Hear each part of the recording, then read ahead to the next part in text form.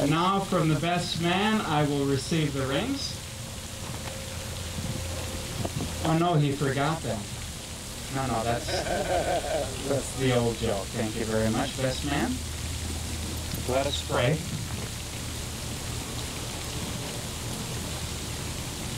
Lord God, our Creator and our Redeemer, bless we pray these rings that Rachel and Gregory will be wearing.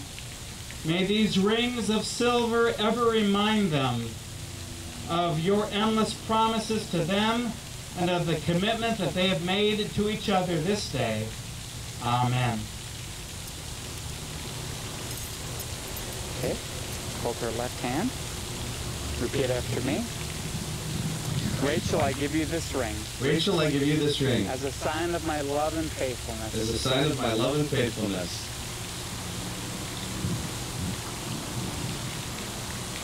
Hold his left hand.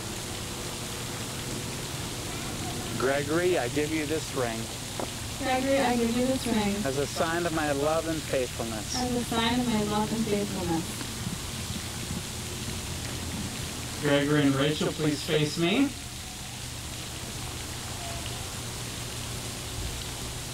Rachel and Gregory, by their promises before God and in the presence of this congregation, have bound themselves together as husband and wife. Blessed be the Father, and the Son, and the Holy Spirit, now and forever. Amen.